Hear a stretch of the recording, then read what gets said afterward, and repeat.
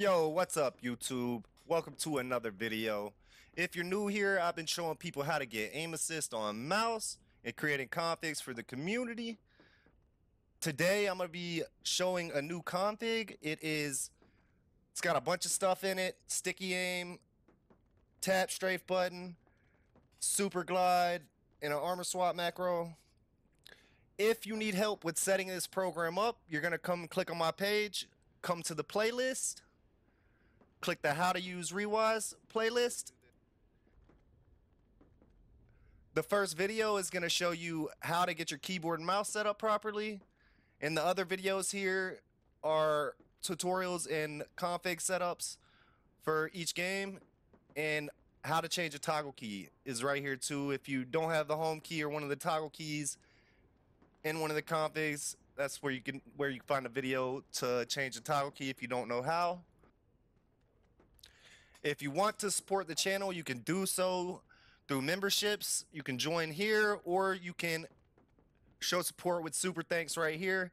Becoming a member is going to be the fastest way to get me in a voice chat in Discord. Although I do help people and I do jump in voice chats with people I'm not always available. Becoming a member will make me available to you whenever I'm awake, at least. and I will voice chat you when with with you whenever you want. We'll go over setup. I'll create. we can make configs. I'll make configs specifically for you. Whatever you need with reWASD within my power, I, I can help you with. So consider becoming a member if you need help through voice chat and stuff. Although you can still join the Discord. It'll be linked in the description below. And I will still help you through chat. I do occasionally hop in voice chats with people, but I'm not always available. So this, like I said, becoming a member will make me more available. And I appreciate you guys. Don't forget to hit that like and subscribe if you like this content and you find it helpful. I appreciate everybody that tunes in to watch. You guys are awesome. You can get the program at rewasd.com. It will also be linked in the description. Without further ado, let's jump in game and let's talk about this sticky aim. All right. So if you look in game, you look right here. I'm not touching my mouse or keyboard, and we are getting rotational aim assist.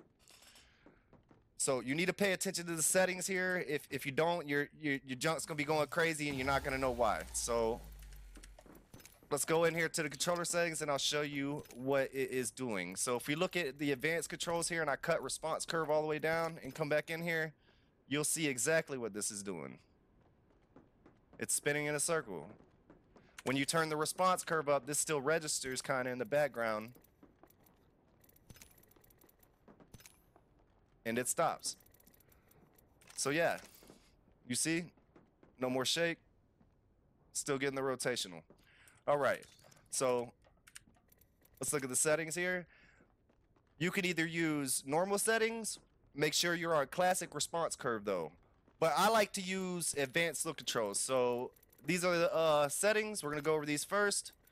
We got dead zone 0, outer threshold 1, response curve 10, yaw speed 500, pitch speed 500, turning extra yaw 100, ADS yaw and pitch speed both 375. If you want to raise the sensitivity here in the settings, turning extra yaw and turning extra pit is exactly what it what it says it is. It it's turning extra yaw and turning extra pits. It's extra sensitivity. So you want extra sensitivity, think about using these right here.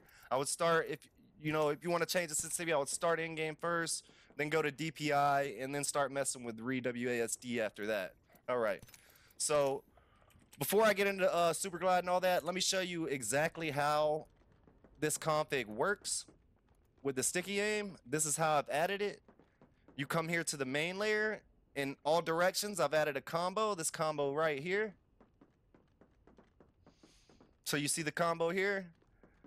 It's activated by mouse movement. So anytime you move your mouse this far right here with the zone shape, it's going to activate. And I have it low so it, it's pretty much always activated except for that little, little, little tiny little bit.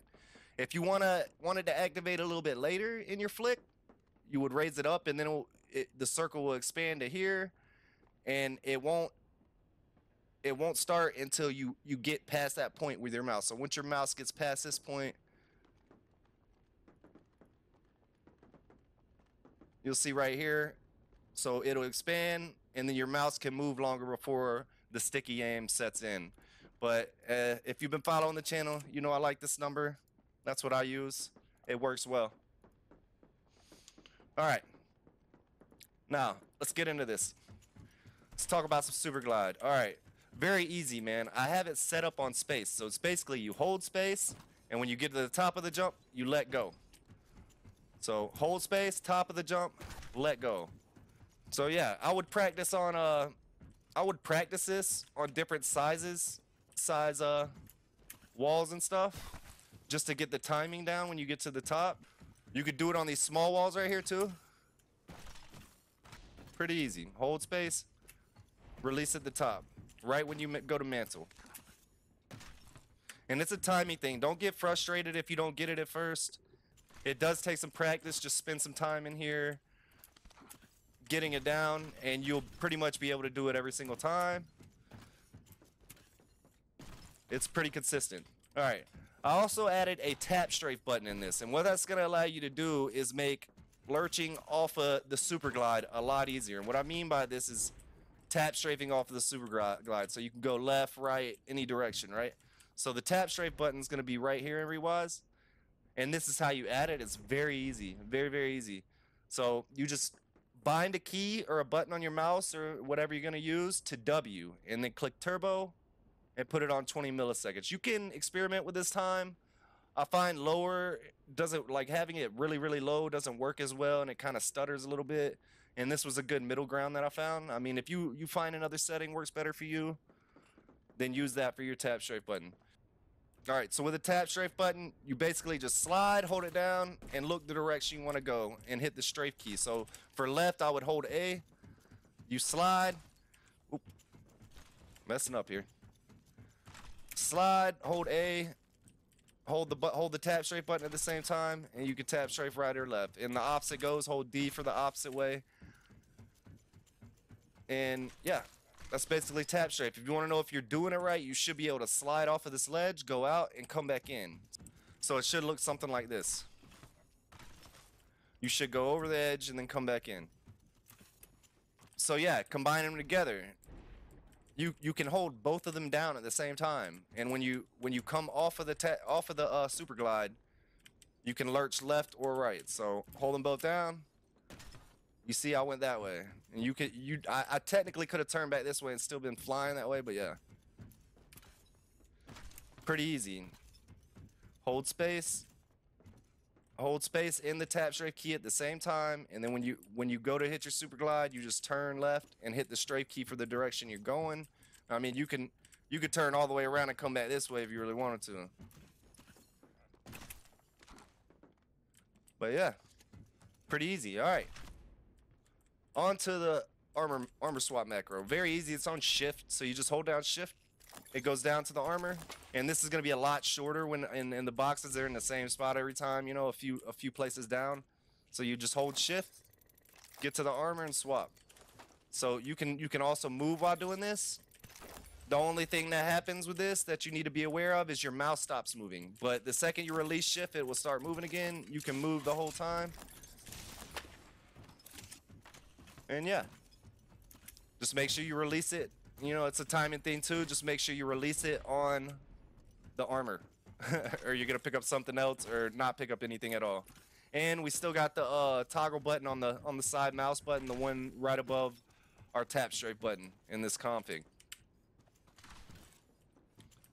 And that is basically it. I appreciate everybody joining me. Um, I hope y'all enjoy this config, man. I worked hard on it. I spent a lot of hours sitting in here in the firing range don't forget to hit that like and subscribe if you like it. You find this helpful. If I, you know you learning something, man, help help a brother out. Love you guys. Hope you have a wonderful day. Later.